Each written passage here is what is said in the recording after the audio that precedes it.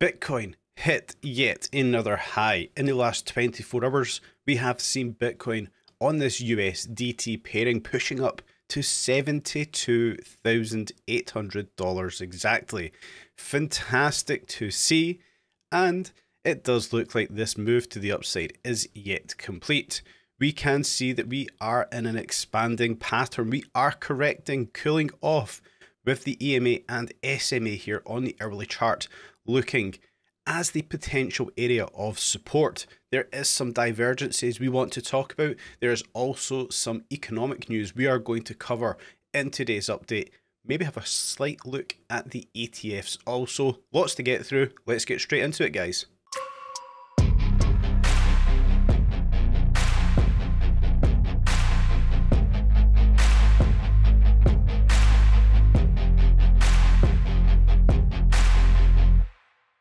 So it's fantastic to have you all back with us once again. Before we get into today's video, smash up the like button, subscribe, tap on the bell. That subscribe, of course, being the most important. You guys are doing fantastically well with that recently. We thank you for it. Please continue to do so.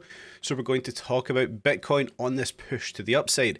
Now, the move that I am tracking here I think in the previous update I did for Bitcoin, you know, we were looking at this move back up into the retracement area to see how the price reacted, where we did ultimately find support on the 50 EMA and SMA on Thursday of last week, and we have seen this fantastic rise with Bitcoin setting a new all time high at $72,800. And I don't think that one is complete just yet. Now, what we can take a note of is the price coming down and we see the 50 EMA and the 50 SMA in red and green respectively. The 50 EMA sitting at 70,837, the 50 SMA sitting at 70,598 at the time of recording, and it does look likely these are going to be support. I want to quickly look at the cheeky cipher here, and we can see some interesting marks on the chart we had a bit of bearish divergence. And I think this divergence is now starting to play out with the price correcting to the downside. This divergence coming from the 6 a.m. UTC candle on Sunday and the 1 p.m. candle from yesterday. So we have a bit of bearish divergence with the cipher, and I do think we are going to see this price continue to correct to the downside. We can see on this early candle as of recording 8 45 am UTC, around about an hour 50 minutes before this video does go live. This closed candle could get interesting should this red sell signal stay. Well, we know we are then looking for further corrections for Bitcoin's price down on this one hour time frame. We can also take a note of that stochastic position. We can see that this is curling back to the downside once again. Let's stretch it open. We are sitting at 20%, so there is a bit of cooling off still to go for this momentum. And that would bring us down into an interesting level. So where would I be targeting this to go to? Well, we can see the 50 EMA, the 50 SMA, but we can also see equilibrium sitting at around about 69,500. It'd be interesting to see if it can get down that far. Not really an expectation of mine for now the move to the upside is an interesting move. And I'm going to have a look at this move right here in particular and work out the structure. Now, yes, we're going to put on a little bit of Elliott wave here, but this one is playing out very nicely with an impulsive movement here for Bitcoin. And that's why I think we're going to come up and test out the upper area of this expanding pattern. So what we will do is zoom on into this five wave move that I'm tracking here, and we can work out a few target areas. So first of all, we want to know where this wave 4 is typically going to come down to, and that is between the 0.382 and the 0.5 Fibonacci levels, between 71,100 and 70,500. At this point, I would expect to see Bitcoin find a reversal and push back to the upside once again, where I am targeting up towards that upper trend line. Now, why would we be targeting this? Well, we can take the high of the wave 3 and we'll go for the optimistic low of the wave 4, finding support on that 50 SMA. And we will be targeting up towards the 1.236 and the 1.618 levels. That falling between 73,300 and 74,200. And that would also, as we can see, bring us up to test out this upper trend line once again for Bitcoin. Now that all looks great. But what we can also take a note of is we are meeting other target areas here. Now, first of all, this higher target area, we've been watching this for quite a while. Nick and myself, between $71.5 and $76,000. We will park that to the side for now. That's for another bit of analysis. The bigger structure we can look at here is a longer move from the 8th of March at 4 pm UTC to Sunday the 10th of March at 10 am. Looking at that as a big wave 1, correcting in its wave 2. All of this move here being a wave 3 with a wave 4 and another fifth wave to come. And we can start to see how these moves are starting to nest on down. Zooming out a little bit further here, well, this one looks like it can continue some more. With a big wave 1 movement, come down into its wave 2 with an irregular flat correction in here. All of this being a wave 3, come down into its 4 and another fifth wave. So when we do see those predictions of upwards of $80,000, well, we can start to see how this move in itself is a possibility. So for the shorter term play, we're obviously looking at this white movement. Let's just clear everything off. A small retrace, perhaps 71,100 to 70,500. Then another push to the upside here towards 73,324 and $74,208.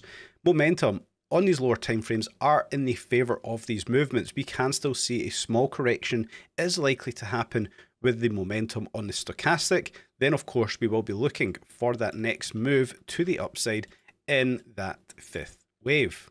So everything looks all good on the charts. Bitcoin's tracking very nicely.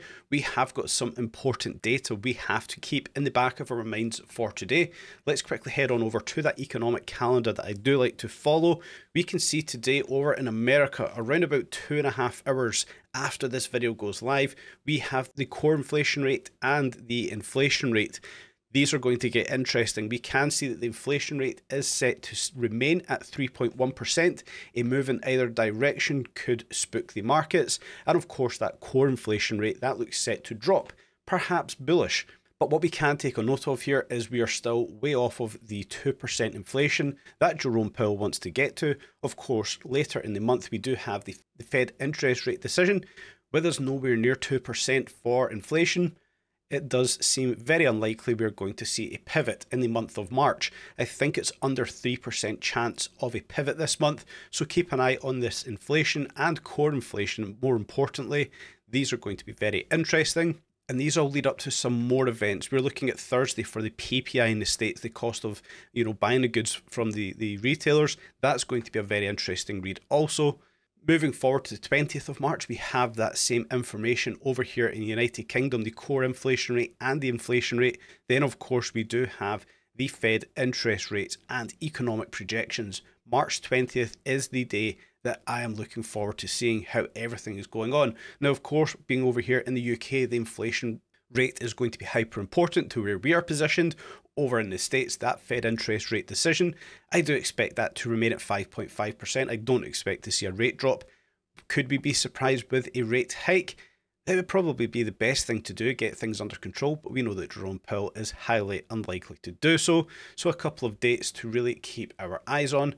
Now, lastly, want to have a quick look once again here at those ETF holdings. Now, the last time we did look at these, they were sitting at 4.08%, and I think that's quite a staggering figure. That only 4% of Bitcoin's actual supply is held up with those ETFs. We, of course, previously reported Grayscale holding over 616,000 Bitcoin, and that number has continued to drop. On the last report, we had at 400,000 Bitcoin held with Grayscale. And recently that had dropped down to around about 398,000 with the likes of BlackRock, Fidelity, 21 shares picking up whatever grayscale were selling off. And what we can see from February to around about March, we can see the, the slippage in grayscale's holdings. And that's not a bad thing. We can see that Grayscale are taking profits. They, of course, bought their Bitcoin on the lead up to the ETFs well in advance. They're taking profits with these prices being so high, and we know the likes of BlackRock 21 shares are buying up what Grayscale are selling off. I think personally, Grayscale are leading up to bigger and better um, profits over on the Ethereum ETF. I think they're positioning themselves in a fantastic position. That's, of course, speculation. Um, it's not fact checked, it's just what I believe is happening that Grayscale are now targeting that Ethereum ETF and looking to profit once again. So, some very interesting data there between the ETFs, macroeconomics, the Bitcoin chart, We've seen this morning that VanEck are offering zero fees on the Bitcoin ETF. I don't know, I think it's perhaps the rest of the week, maybe into the weekend. So, yet another bullish thing for Bitcoin's ETFs. Everything has been just unbelievable. That price increase, seeing $72,800, I don't think we're going to stop there. I do think we're going to continue seeing the price of Bitcoin rise until certain things do play out. As always, guys, please approach these markets with caution. I do think it's going to be incredibly volatile. And yesterday, Chris made his return to the main channel, covering off some very interesting and important information. That video is right here. Head on over, check it out.